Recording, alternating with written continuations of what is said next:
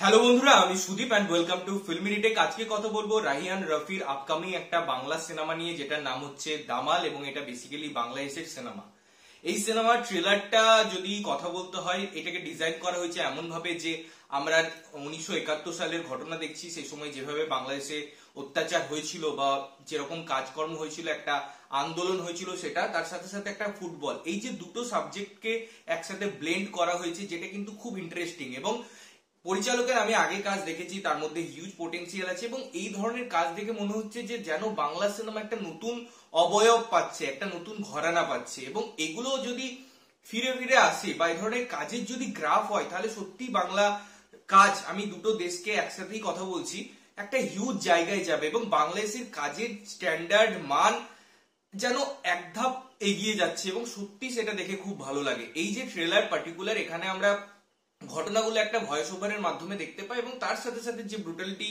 গুলো হয়েছিল বা একটা জয় বাংলা স্লোগান ছিল, তার ফলে মানুষকে কীভাবে নিপীড়িত হতে হয়েছিল, পাকিস্তানি ফোর্স দ্বারা, সেগুলো কিন্তু দেখানো হয়েছে। তো সেই ব্রুটালিটির জায়গায় থেকে আমার মনে হয় এটাকে দেখানো, এটা ইটসেলফ খুব চ্যালেঞ্জিং সেখানে অভিনয় করা, সেটা আরও চ্যালেঞ্জিং কিন্তু সেটা যখন আমি সিলভার স্ক্রিনে আনছি, আমার মনে হয় সেটা রাগ ঢাকের দরকার পড়ে না। আনটিল আর আনলেস এমন জায়গায় সেটা নিয়ে যাচ্ছে যেখানে আমাকে হয়তো সেন্সার পারমিশনই দিচ্ছে না। তবে আমার মনে হয় যে এই টোটাল ডিজাইনিংটা খুব সুন্দর। তো আমি গল্পের কথা এখানে যদি বলি, যেটুকু ট্রেলারে দেখানো হচ্ছে, একদিকে একটা দল গঠনের কথা দেখানো হচ্ছে, তাদের ম্যাচের কথা দেখানো হচ্ছে, এবং অন্যদিকে কীভাবে তাদের সাথে অত্যাচার করেছিল, আগুন জ্বলছে, এই পুরো সিনগুলো দেখানো হয়েছে। তো এই ট্রেলারে আমার পজিটিভ পয়েন্ট প্রথম যে পজিটিভ পয়েন্ট সেটা বলব যে ভিজুয়ালি ট্রিট সেটা আমি যখন লো অ্যাঙ্গেল থেকে একটা ক্যামেরা দেখছি, যেখানে জাম্প করছে দুটো ট্রেনের মধ্যে হোক, বা যে ফুটবলটা পড়ছে কিন্তু একটা গাছ থেকে দেখানো বা একটা জায়গায় একটা ছেলে চিৎকার করছে, পিছনে একটা মানে সিন দেখানো হচ্ছে যেটা খুব কানেক্টেড দুটো সিনের সাথে। সে ক্যামেরাটাকে এমন ভাবে ধরানো হচ্ছে যে ওই চিৎকারের ঘটনাটা মুখ্য, কিন্তু এই ঘটনাটাকে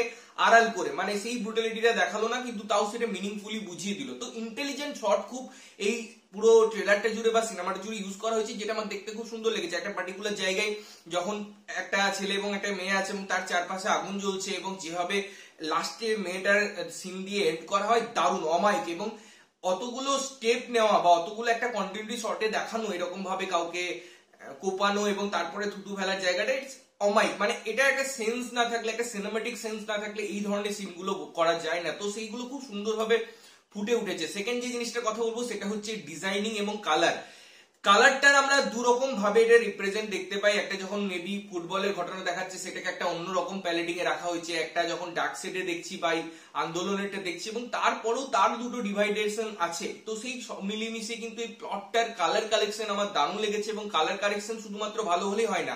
সেই পার্টিকুলার সাবজেক্ট বা থিমটাকে রিপ্রেজেন্টেশন করার একটা ব্যাপার থাকে। সেটাও কিন্তু খুব সুন্দরভাবে এখানে আনা হয়েছে।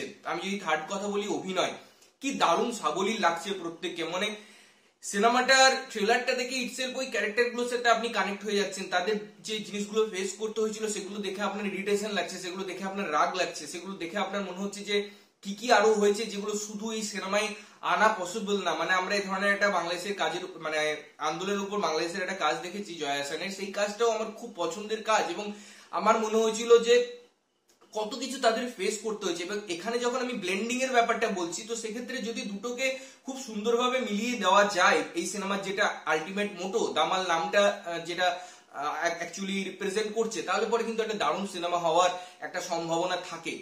আমি ফোর্থ যে কথাটা বলব, সেটা হচ্ছে মিউজিক মিউজিকটা দারুণ ভাবে ডিজাইন করা হয়েছে এবং শুধুমাত্র ডিজাইন নয় ভয়েস ওভারটাও খুব রিলেভেন্ট যেভাবে কথাগুলোর সাথে, সিনগুলোর সিকোয়েন্সগুলি ম্যাচ করা হয়েছে বা লাস্টে যখন জয় বাংলা স্লোগান আসছে, তো এই জিনিসগুলোকে না খুব সুন্দরভাবে এই যে ট্রেলারটা ইটসেলফ যে টাইমটা স্পেন্ড করছেন বা কনজিউম করছেন, সেটা আপনার দারুণ লাগবে এবং আপনি ওই পার্টিকুলার জিনিসটার মধ্যে যেতে পারবেন ফিল করতে পারবেন। তো আমার পুরো ট্রেলারটা জুড়ে এই জিনিসগুলো মনে হয়েছে। আমি নেগেটিভ পয়েন্ট তেমন কিছু বলব না। ডাইরেক্টরকে আমার হ্যাটসঅপ জানানোর আছে এবং প্রি প্রোডাকশন এবং পোস্ট প্রোডাকশনের মধ্যে একটা সুন্দর ব্যালেন্স আছে বলে আমার মনে হয়েছে। কারণ একটা যদি এই ধরনের কাজে পার্টিকুলার আমি যখন পিরিয়ডিক একটা কাজ দেখাচ্ছি, আমার মনে হয় প্রি প্রোডাকশনে তো রিসার্চ থাকে, কিন্তু পোস্ট প্রোডাকশনে সেটাকে এক্সিকিউট করার ব্যাপার থাকে। তো দুটোর যখন সংমিশ্রণ খুব সুন্দরভাবে হয়, তখন আমি এই ধরনের গল্পকে একটা অন্য ধারায় নিয়ে যেতে সক্ষম হয় তো তার জন্য hats off all team and director obviously এবং আমি যেমন বলছিলাম যে নেগেটিভ পয়েন্ট আমার সেরকম কিছু ট্রেলারে লাগেনি, তাই আমি জোর করে এখানে বার করব না, শুধু এটুকুই বলব, তোমরা যদি ট্রেলারটা না দেখেছ, অবশ্যই গিয়ে দেখো এবং দেখে এসে আমাদের জানাও যে তোমাদের কেমন লাগল। সিনেমাটার জন্য আমি এগারলি ওয়েট করছি। ততক্ষণের জন্য ভালো থাকবে, সুস্থ থাকবে এবং সবসময় ভালো জিনিস দেখবে। চ্যানেলটি প্রথমবার দেখছ লাইক কমেন্ট শেয়ার করতে হবে সাবস্ক্রাইব করতে হবে, যাতে প্রত্যেকটা নোটিফিকেশন তোমাদের কাছে পৌঁছায়। ততক্ষণের জন্য, টাটা।